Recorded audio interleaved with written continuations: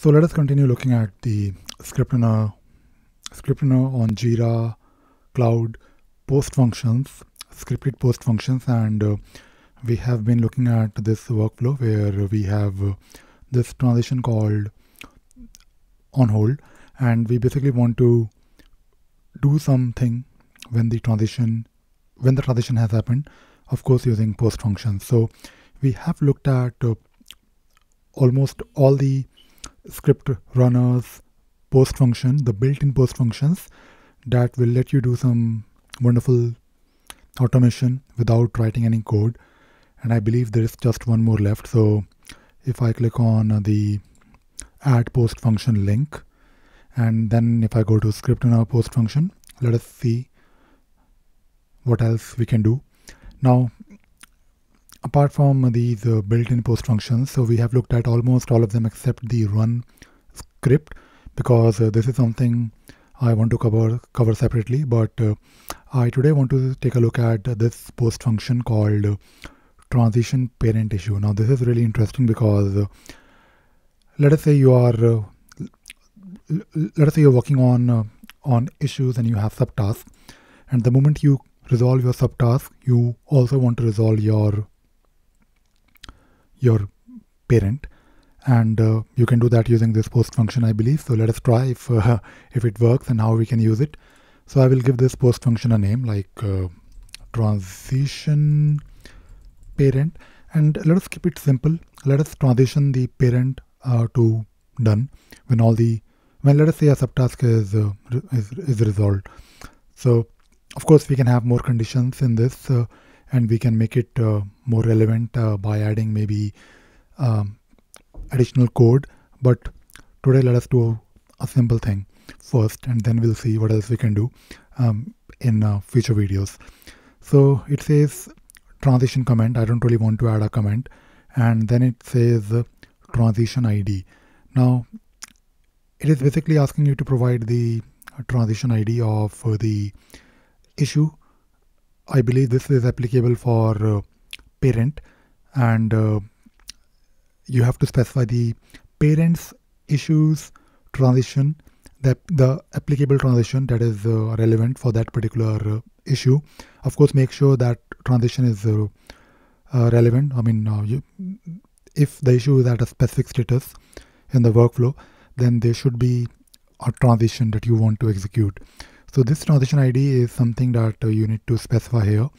And uh, you can also specify the transition name but I think transition ID is uh, better because it will be unique.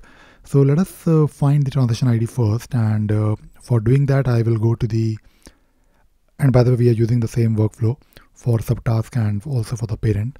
So let us click on the text mode. And uh, that is one benefit benefit of text mode. You can find the transition ID now the transition transition ID if you look at this workflow it is a simplified workflow and uh, let us say the moment you resolve the issue or the moment you move the issue to done status you want to also move the parent to done. So the the transition is uh, the transition is done and the transition id is 31 so now we know the transition id and i think uh, it is simple because it is a simplified workflow so we don't have to worry about uh, whether this is applicable or not because you can go to any state from any state basically. So let us let us specify 31 here, and uh, I think this is it. Maybe um, you just want to update and uh, very validate it very quickly. So what will happen now? The moment you move the issue to on hold, and if it is a subtask, then it will move the parent to to done. Um, maybe in this case, I think uh, it is better to use uh, on holds transition ID, which is uh, 41. So let us keep it consistent. So basically when you move the subtask to on hold, you will also move uh, the parent to, to on hold. So let us modify this uh, post function and instead of 31, I will use uh, 41. Let me check one more time. Yeah, it is 41 on hold because we are doing this uh, because this post function is applicable on on, on hold transition. So I'll specify 41 here and uh, I will click on uh, update. And then we'll uh, publish the draft. I don't really want to save the backup. Publish. And I think we are good now so what I'll do I will first go to the issue and I will make sure it is not on hold. And by the way it, this particular post function will not really work for this parent I believe because it is not a subtask but we have to test it. Like we have to see how it shows in the execution history because we are making a transition but I think the transition will and should fail because uh, it is not really relevant. And uh, I want to see basically I want to check. So I'll click on all on hold. It it might do something else based on other post functions but uh, if I go to my workflow and if I edit the workflow and if I go to the to the post function and look at the execution I should see something like it failed or whatever. Let, let us see. I'll click on post functions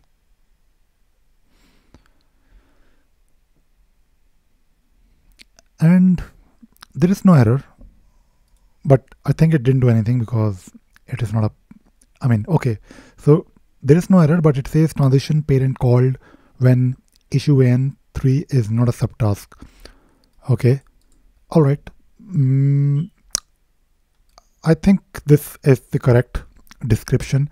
Um, instead of saying that there was an error it is basically telling you that the transition was not really I mean there was no need because it was not a subtask. But what I'll do I'll move the issue to maybe to do. And then what I'll do I'll go to one of the subtasks. Let us say we go to this particular task. And uh, what will happen if we move the issue to to on hold status? And for doing that I will try if I can do it from this particular view within I mean I, I don't really want to go inside the subtask I can do it from this uh, menu here for subtask which is task number one. I'll select on hold. And this is now on hold. I think I will wait for like few seconds before refreshing the page.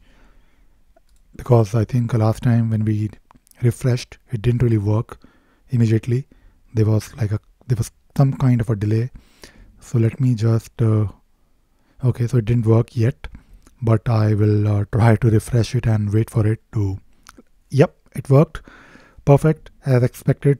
It, there was slight there was a slight delay.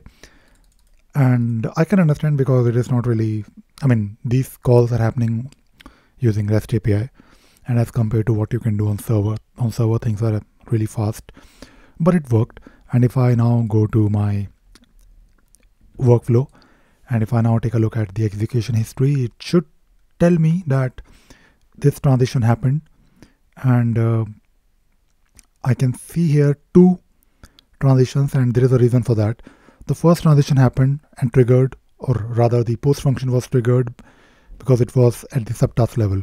So it changed the status of the parent to on hold. But because parent was also moved to on hold and we are working on the same workflow, it tried to execute uh, I mean, this post function was executed one more time, but it, it didn't really work for the parent because it was a parent.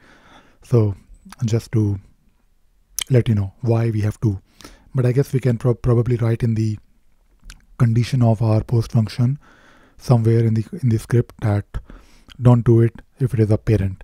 But I think this can be. I mean, to be honest, uh, this specific uh, this specific post function can be really useful when you are uh, let us say trying to maintain or sync the status of the issues when they are in some kind of hierarchy. Like let us say you have subtasks and subtasks are linked uh, subtasks are also part of, of they are part of a parent. And if that particular parent is also part of let us say some other linked issue so you can al always write more maybe, maybe you can write your own custom post function or maybe you can write a script, some kind of a listener. We have talked about listeners in the past where you can sync the status uh, for issues that are linked to each other by using parent subtasks or maybe using the issue linking feature in Jira. So we will continue looking at and exploring uh, various wonderful things that we can do with script runner for Jira on cloud. So far we have covered all the built-in post functions, but we will also take a look at the option, the post function that uh, will let you write your own custom script. So that is all I wanted to talk about in this video. I hope I hope you enjoyed watching this video and you learned something new today. Thank you. Thank you very much.